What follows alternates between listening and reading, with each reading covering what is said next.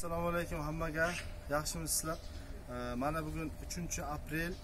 Mana biza hozir e, yana boshqa boyagi kecha aytdimku 3 ta joyga plantatsiyamiz bor. O'sha boshqa plantatsiyaga kelib turibmiz hozir. Mana e, kanalga a'zo bo'lganlar o'sha plantatsiyalardan ham olib ko'rsating. Pavloniya qanday uyg'ondimi hozir yo'qmi degan savolga javob berish maqsadiga mana hozir e, o'sha joyga keldim. Hozir o'sha joyda olamiz endi. Xo'sh mana hozir mana shunday holatga. Azizjon tepalarni olaylikda nimalarni daraxtlarni.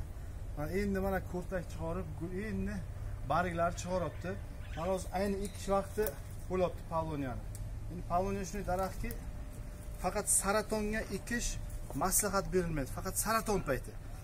Lekin o'sha saraton payti eksa ham ko'karadigan daraxt shunaqa daraxt.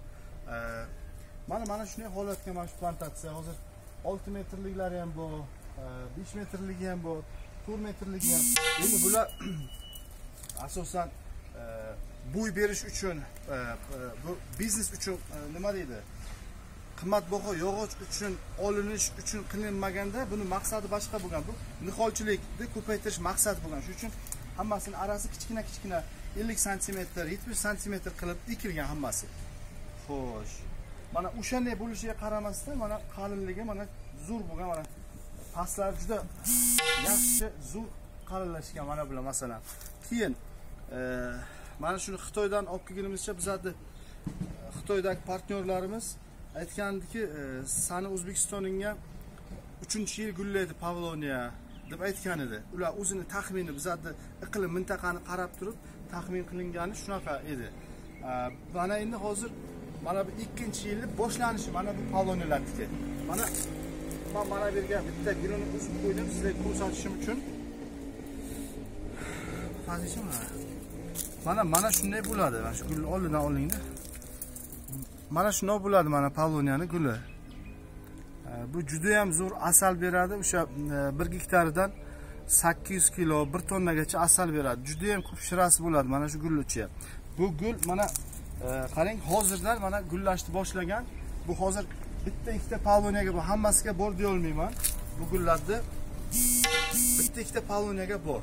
Lekin mana shu ikkinchi yilni o'ziga gulladi uchinchi yilni kutib ham yotman bu nima degani? Bu degani o'zbekistonimizni iqlimi yeri shunchalik zo'rki ikkinchi yilni o'ziga gullab bu уже e, nima deydi?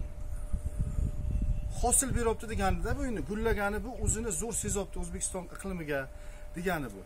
Shuning uchun ekib ko'paytirsa ikki biznes qilsa juda zo'r haqiqatdan ham o'zbekistonni sharoitiga zo'r moslashar ekan.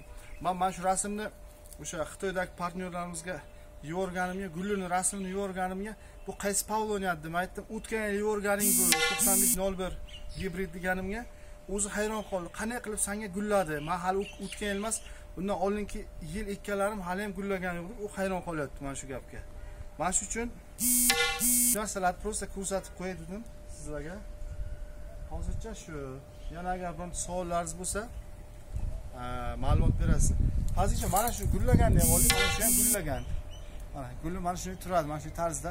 Endi har bitta mana shu yonidagi lunda lundachalari kruglichoklari hammasi gul bo'lib ochilib katta juda katta e, maydoni gul bo'ladi mana shu daraxtni agar asalarilar bo'lsa bemalol ishlab e, zo'r ishlaydi degani bu mana shu polniyada qisqasi mana shunday roligimiz juda uzun bo'lib ketmasin man o'zim uzun rolikni juda ham yomon ko'raman.